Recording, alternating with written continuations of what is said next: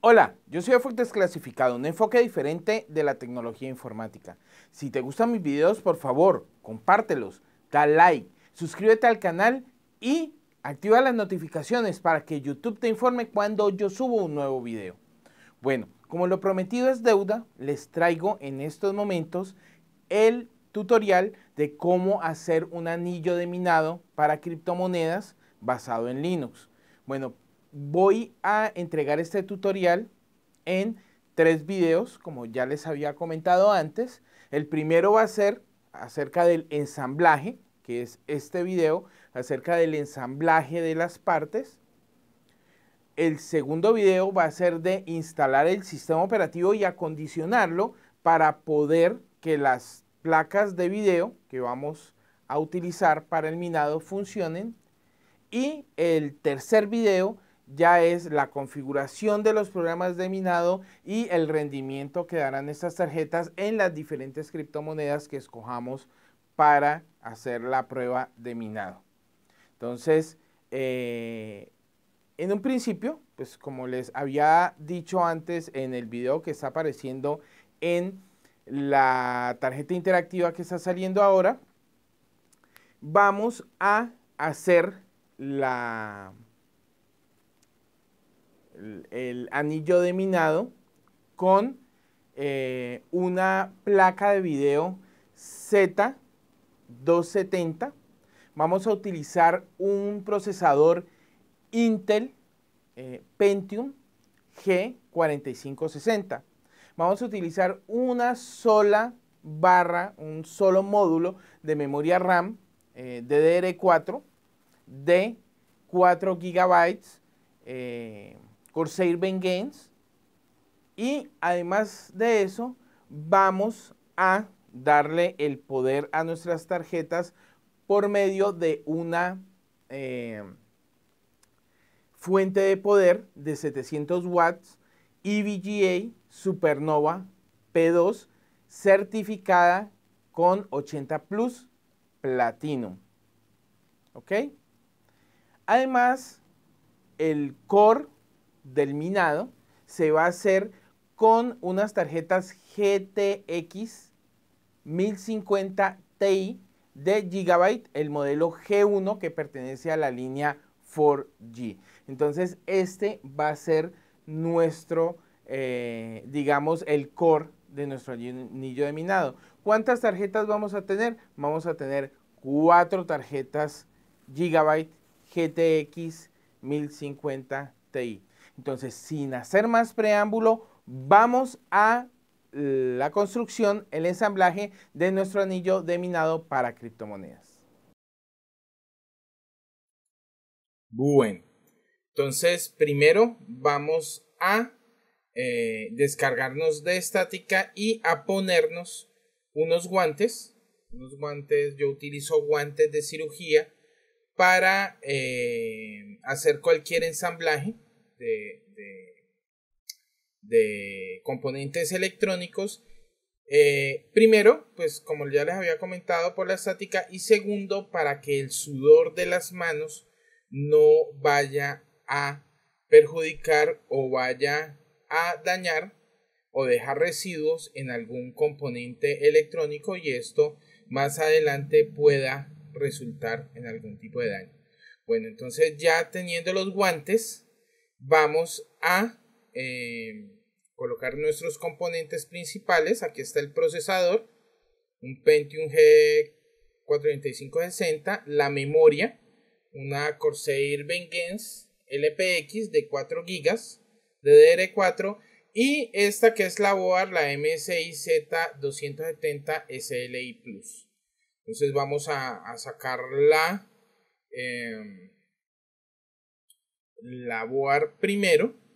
La vamos a sacar de su caja. Voy a cuadrar un poquito aquí eh, la cámara para que eh, podamos eh, tener una mejor visualización. Y abrimos la caja. Aquí está nuestra placa base. Y vamos a poner la caja a un lado eh, para sacar eh, necesito el manual, esto es la, el, inicio, esto es una garantía, los cables para SATA y el manual, porque después lo voy a necesitar y ustedes lo van a ver. Bueno, vamos a destapar la, la placa base. Aquí la, la tenemos. Yo anteriormente en un unboxing le había quitado el protector del procesador. Como pueden ver, hay que tener mucho cuidado porque si no se puede dañar. Y vamos a colocarle precisamente de primero el procesador. Entonces vamos a, sacarlo de su caja con mucho cuidado. Ah, bueno, se me saltó para un lado. Aquí tenemos el fan original el, ventilador original no lo vamos a usar, vamos a usar otro un poquito más eficiente y vamos a colocarle el procesador que vemos acá. Entonces, para colocar el procesador debemos tener en cuenta una cosa y es que en una esquina hay una marca que es la marca que nos va a permitir esa marca nos va a permitir eh, colocar el procesador de una forma correcta. Entonces vamos a eh, desenganchar el socket. Este es el socket. Eh, LG1150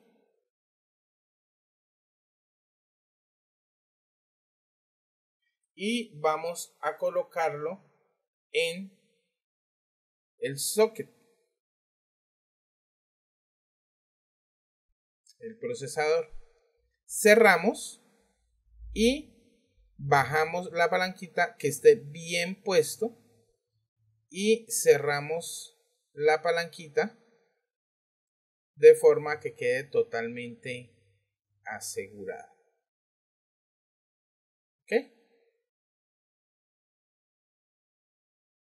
Bueno, entonces, una vez tenemos el procesador puesto, vamos a pasar a la eh, memoria, la memoria RAM.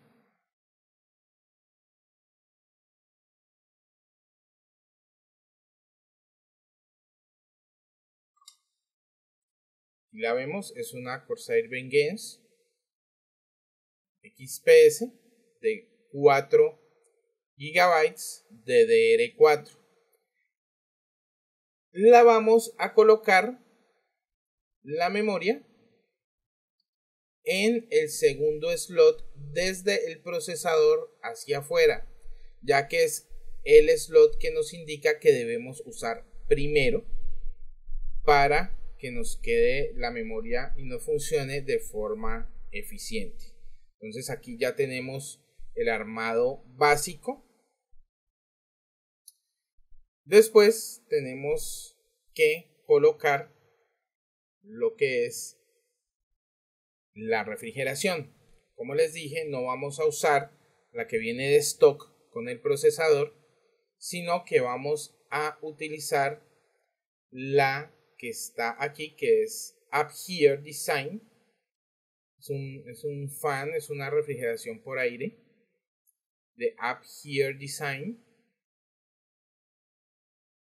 Y esta refrigeración, como también lo habíamos visto en un unboxing, trae una base que se acomoda, una base de plástico que se acomoda por medio de pines. Los pines tienen tres posiciones porque sirve para diferentes sockets, puede ser para el LG 1150 o C51 y para cómo va situado en las diferentes boards. Entonces aquí tenemos el fan, tiene un ventilador de color rojo con LEDs, muy bonito. Y vamos a sacar los pins para colocarlo sobre eh, la base sobre los eh, agujeros que tiene la board para colocar el procesador.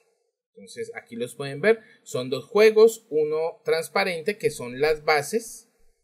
Estas bases se colocan en estos, en estos eh, agujeros que trae la base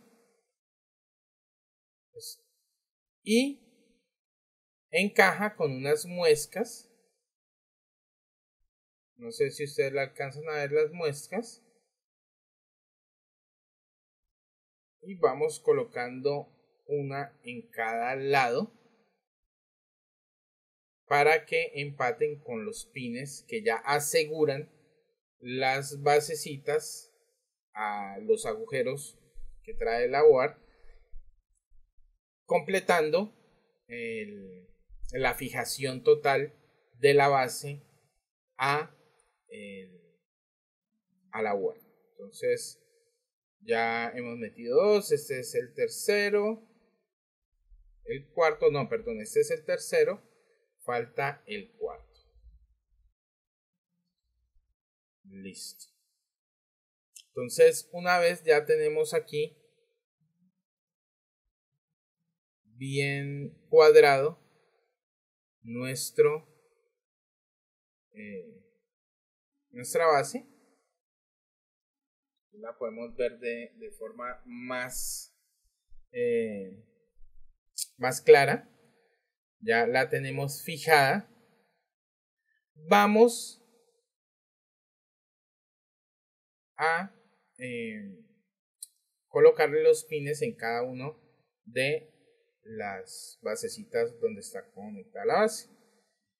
Entonces simplemente es colocar en esas eh, pines eh, negros dentro de las bases donde aseguramos la base principal y ya queda fija para poder colocar nuestro eh, fan out here en la en el procesador bueno entonces aquí vemos el, el fan es de acero con eh, cobre, con líneas de cobre. Esto va a asegurar una mejor conductividad. Pero entonces nos hace falta algo antes de eso. Vamos a quitarle la protección porque pues, no se le podemos dejar el plástico. El plástico es para protegerlo, para que no llegue ninguna impureza, ya que aquí tiene que haber full contacto para que haya una buena disipación del calor. Y vamos a eh, colocarle esta pasta térmica. Esta pasta térmica viene pues aquí muy práctica, no sé qué tan buena calidad sea, pero es la que da el fabricante. Ay, acá. Eh, y vamos a colocar la pasta térmica sobre el procesador. Entonces apretamos aquí, bien. A mí me gusta que quede en el centro para que cuando el fan apriete eh, sea de adentro para afuera que salga la pasta térmica que estamos colocando. Vamos, aquí queda un poquito más. Vamos a colocarle ese poquito. Viene prácticamente la, porción justa. Y ahora vamos a colocar el fan. Yo siempre he tenido un poquito de prevención cuando coloco los, los, fans. Eh, por eso me gustan más las refrigeraciones líquidas que traen tornillos y uno va asegurando poco a poco. Porque esta que viene por ganchos, por seguros, hay que hacer fuerza y hay veces eh, me puedo pasar con la fuerza y puedo terminar estropeando las cosas. Pero si se hace con cariño, con cuidado y midiendo la fuerza hasta colocarlo, podemos hacerlo y nos va a quedar bien colocado. Bueno, aquí por fin ya pudimos eh, colocarlo, coloqué el ventilador eh, extrayendo el, el calor hacia el lado opuesto de la memoria para que la memoria no se vaya a sobrecalentar eh, en el escenario contrario, ¿ya? Que el fan estuviera arrojando el aire contra la memoria. Entonces aquí ya tenemos pues eh, la parte mm, más importante digamos del montaje que es el procesador y la memoria. Ahora vamos a otra parte que también es muy importante, sobre todo para esto del minado de criptomonedas, que es, eh, bueno, la instalación de la fuente de poder y vamos a, como se le dice vulgarmente, echarle candela, a colocarle la energía a, este, a esta placa. Entonces, para esto, como ya lo hemos visto en un unboxing, eh, o lo verán, vamos a utilizar una fuente de poder de bastante calidad que es una EVGA Supernova P2 que está certificada con 80 Plus Platinum. El 80 Plus Platinum lo pueden ver en el unboxing cuando aparezca. Eh, hace que el consumo de la fuente baje, ya que se pierde menos calor, eh, se pierde menos energía, perdón, en forma de calor, haciendo eh, un 12% más eficiente el consumo de energía. O sea que es un ahorro de dinero en energía frente a una 80 Plus raza o a una 80 Plus bronce. Entonces por eso decidimos también, pues estamos en la minería a largo plazo, uno o dos años, es mejor comprar una fuente como estas, que ustedes están viendo acá, que tiene la opción también de eh, económica, para que si la temperatura lo permite, ahí está el 80 Plus Platinum, si la temperatura lo permite, eh, no gire el ventilador si no es necesario.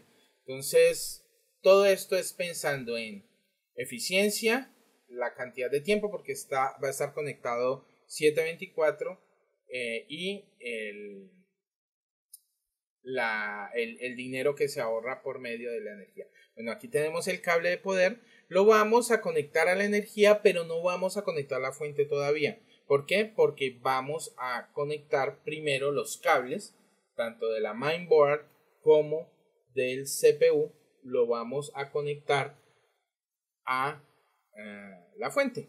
Entonces aquí tenemos el, cable de la mainboard, dice MB. Y eh, lo vamos, bueno, vamos a quitar esto.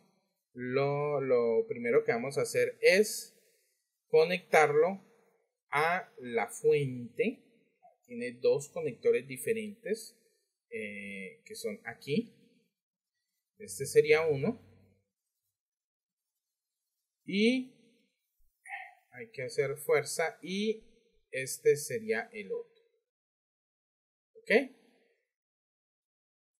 Listo. Ahora vamos a conectar los cables del CPU. Ya, esta fuente puede soportar dos CPUs. Esta vez solo vamos a utilizar uno. Acá ustedes pueden ver el cable del CPU y le quitamos el alambrito que, viene y vamos a conectarlo. Este es el que viene a la y calza aquí preciso. De hecho, ahí está de todos modos, dice CPU1 y vamos a eh, conectar. Bueno, ya lo tenemos aquí, ya los tenemos aquí los dos cables en la fuente, vamos a conectarlos ahora a la board. ¿Ok? Entonces primero vamos a, utilizar, a, conectar más bien el cable eh, que alimenta la mainboard, todo lo que es el chipset y los, los componentes que vienen en el PCI Express y en, el, y en los demás componentes. Aquí está el, el conector, lo podemos apreciar mejor desde esta perspectiva. Y aquí ya calzó bien el conector. Ahora vamos a conectar la del CPU.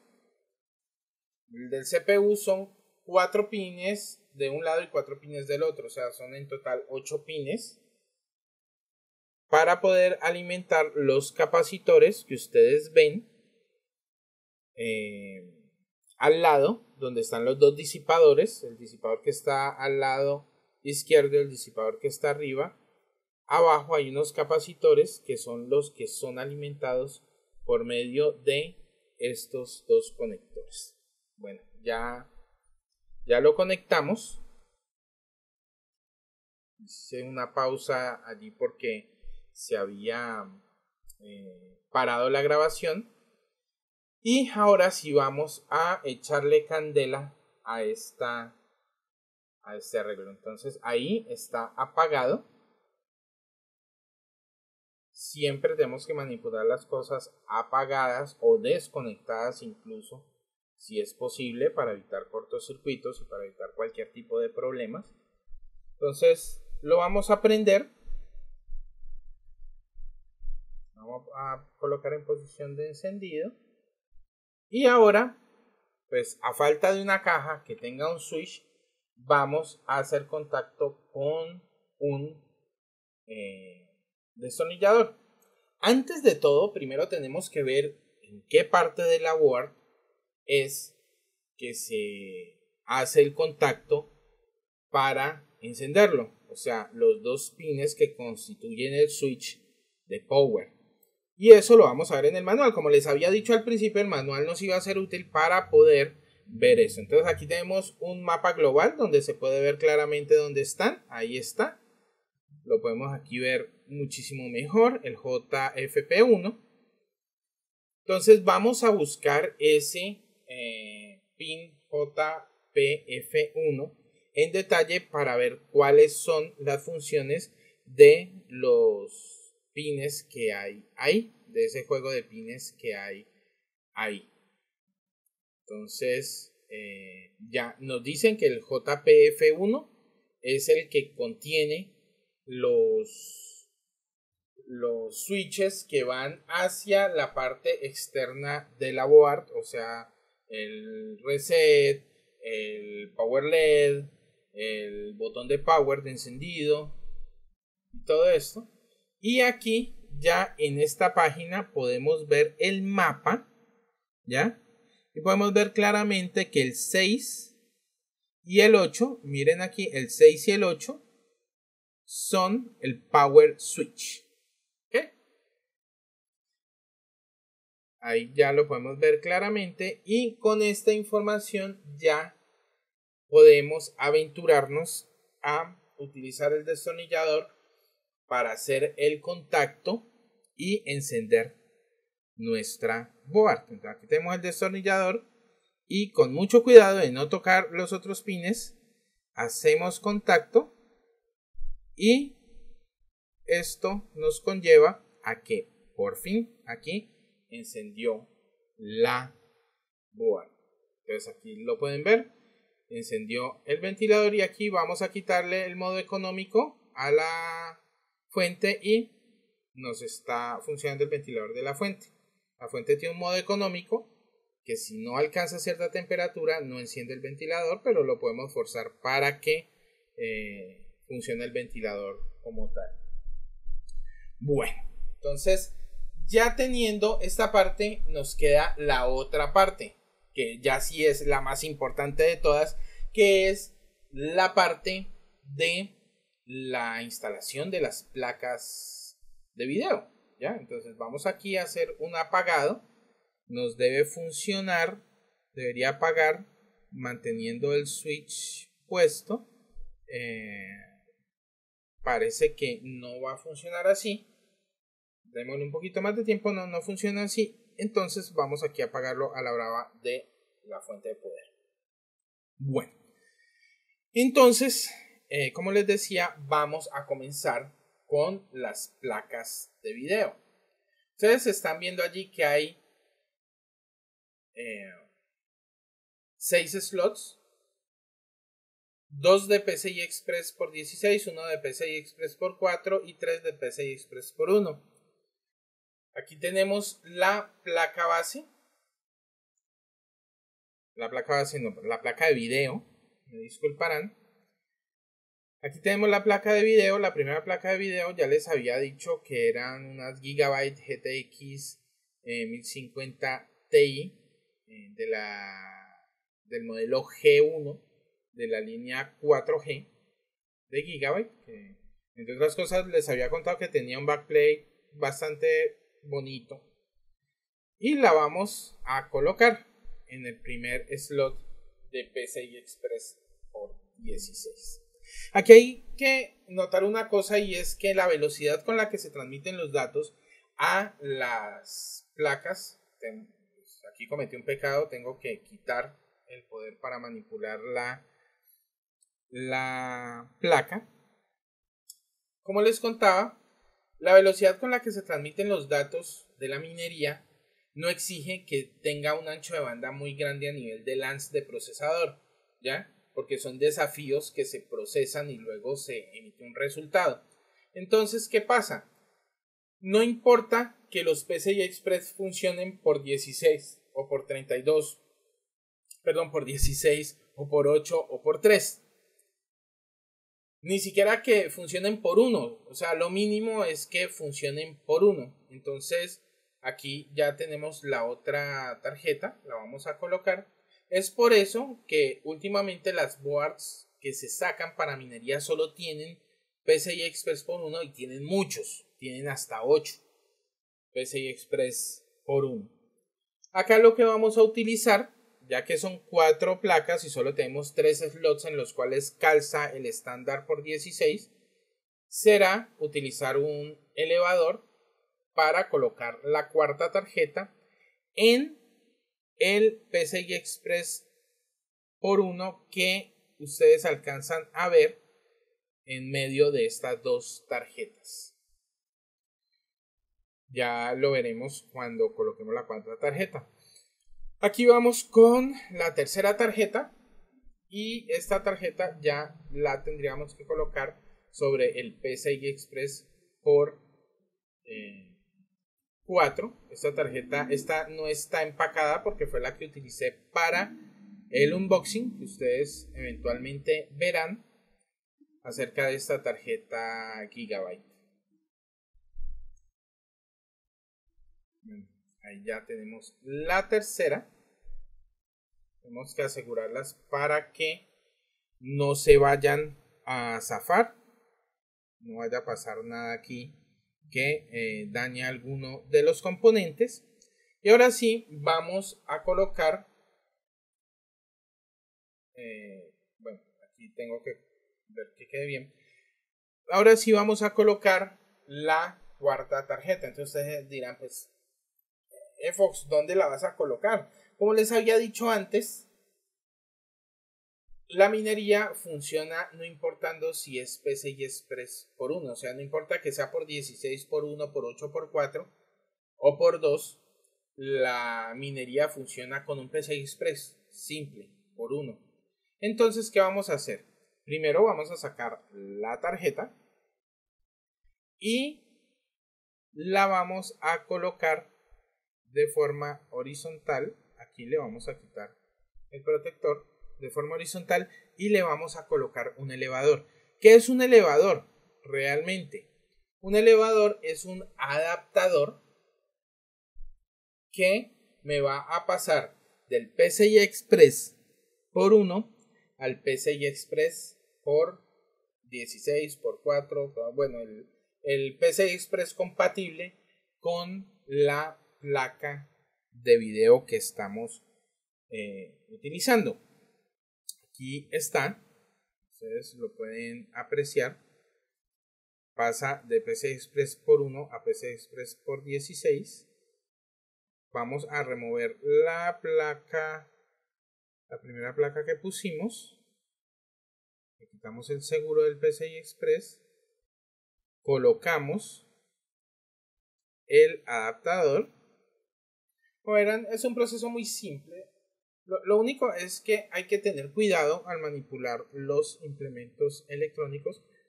Usar guantes, descargar estática. Eh, y ahorita colocamos la eh, tarjeta que habíamos quitado en el PCI Express por 16, eh, la primera tarjeta que habíamos puesto. Está dando un poco de lidia. Y vamos luego a colocar la tarjeta, eh, la cuarta tarjeta. Pero antes sí quiero hacer una cosa y es que quiero colocar una base. Por el otro lado, donde está la, las, las arandelas, donde se soporta la, las placas a, las a, los chasis, está un poco alzada. Entonces, ¿qué hago? Coloco esta caja para elevarla un poco y no tener ningún problema con el, tema de estas arandelas que sobresalen eh, de, la, de la board y queda un poco elevado. Entonces, vamos a hacerlo así. ¿Por qué? Porque como le vamos a colocar un peso encima, entonces no quiero que la board tome una curva, ¿ya? Eh, y quede como, como una forma que, que puede de pronto dañar algún componente. Ahora sí, vamos a conectar esta placa, la cuarta placa, al adaptador. Y listo. Aquí ya la, ya la ah, se me desconectó. Bueno, esto suele pasar. Se me desconectó de la parte de abajo por tratar de conectar en la parte de arriba, pero no importa, porque miren, ustedes simplemente lo que hacen es cuadrarla como un poquito enhebrando una aguja y luego por un ladito la pueden asegurar y listo ahí ya quedó la eh, placa. Bueno, por este lado no es buena idea, porque hay que dejar que los ventiladores se muevan. Y aquí ya tenemos la placa encima. Tenemos que dejar los conectores visibles porque el siguiente paso va a ser conectarla a la energía. Ok, entonces vamos a utilizar los cables que dicen VGA. Son los cables que vienen con la fuente de poder y ellos dicen VGA. Hay algunos que vienen con 8 pines, otros con 6 pines, dependiendo de la tarjeta que necesitemos. Y acá están los cuatro eh, tomas por los cuales podemos eh, alimentar las tarjetas. Esta fuente, y es extraño porque la mayoría de las fuentes certificadas eh, de 750 solamente traen para dos eh, conectores de tarjetas de video. Este trae para cuatro conectores. O sea, estamos hablando de independientes porque pues con bifurcaciones o con Y podemos hacer cualquier cosa. Pero esta trae cuatro eh, lugares donde colocar cuatro cables diferentes para tarjetas. Esto nos muestra la eficiencia de este tipo de productos. No es el tope, que sería una Titanium, una 80 Plus Titanium, pero sí es una Platinum que es el eh, grado antes, que nos daría más o menos entre un 10 y un 12% de eficiencia por encima de un 80 Plus eh, raso. ya estamos en el cuarto cable y vamos a proceder a conectar las tarjetas. Estas tarjetas no tienen pierde, pero hay veces sí es un poquito eh, difícil eh, colocarlas, sobre todo por el por, por como el cable viene, que te hace una resistencia y es, es hay veces un poquito difícil colocar. siempre el, el, la disposición de los pines y de la entrada del, lado hembra no va a dejar que lo coloques en otra dirección. Lo único es que por la resistencia que ofrece el cable hay veces es un poquito difícil eh, colocarlos, aunque no imposible. Entonces aquí ya vamos para la tercera tarjeta. Sí, esta es la tercera tarjeta. Vamos allí y ahora con cuidadito de no ir a desconectar vamos a colocar la cuarta eh, tarjeta. Tengo que pasarla por entre todos estos cables. Colocamos la cuarta tarjeta. Ah, changos. Ok, se me devolví, se me desconectó el, en la parte de atrás lo ideal es que esto lo monten sobre un pequeño chasis de madera, una pequeña armazón de madera, para que esto no ocurra. Eh, sin embargo, es totalmente funcional así si uno no la va a mover lo tiene en un sitio seguro, la placa puede permanecer encima de la otra sin ningún problema, siempre que los ventiladores funcionen bien y siempre que eh, de pronto haya alguna ayuda extra de ventilación. Aquí no hay riesgo por el mismo chasis de la, de la placa de video que vaya a pasar algo extraordinario o que se nos vaya a quemar algo. Ahora vamos a encender de nuevo el, nuestro, nuestro arreglo de minería. Mm, aquí de pronto pasó algo, hay que ver si eh, tengo, estoy haciendo bien contacto. No, bueno, algo puede estar pasando. Hay que revisar que todo esté bien conectado y que eh, todo esté en orden. Sin embargo, lo que pasó fue que no tenía encendida la fuente. El detalle, el, pequeño detalle, que no tenía encendida la fuente, pero después encendió sin problema. Entonces aquí pueden ver la, eh, el arreglo de minería ya totalmente eh, funcional en cuanto a su ensamblaje. Lo voy a girar para que ustedes lo vean. Hay un detalle que vamos a ver en el segundo capítulo y es cómo controlar los ventiladores. Es importante a la hora de hacer el minado o de hacer overclock para hacer más eficiente el minado. Eh, como ustedes verán, los ventiladores están parados.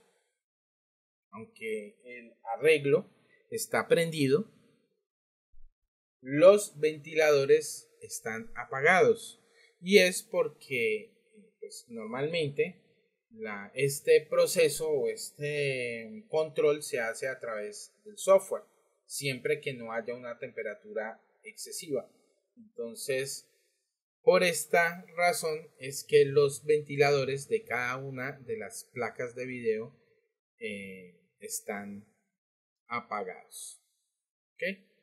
Bueno, ahorita nos falta un paso adicional, que es colocar el eh, sistema de almacenamiento que vamos a utilizar para el sistema operativo. Yo voy a utilizar una memoria de 16 GB. Estoy pensando en minar Ethereum y en minar Monero en este, en este eh, arreglo. Para no gastar dinero en un disco duro y hacer más eficiente el minado. Bueno, este fue el ensamblaje de nuestro equipo de minería, nuestro anillo de minería para criptomonedas basado en Linux. Eh, como vieron, hay que tener ciertos cuidados, hay que descargarse la estática, hay que usar guantes. Yo uso guantes de cirugía para eh, no ir a dejar residuos ni dejar sudor, eh, algo que pueda hacer cortocircuito o que pueda dañar los componentes. ¿Qué vamos a ver en el próximo video? En el próximo video vamos a ver cómo configurar el sistema operativo Linux para que tome los drivers, eh, sobre todo los drivers de CUDA, para poder hacer la minería de criptomonedas bajo Linux y poder que nos reconozca nuestras tarjetas eh, de video GTX 1050 Ti. Entonces, si les gustó este video, por favor, compártanlo, den like, suscríbanse al canal y hagan clic en notificaciones para que YouTube les avise cuando yo subo un nuevo video. Yo soy EFOC Desclasificado, un enfoque diferente de la tecnología informática. Chao.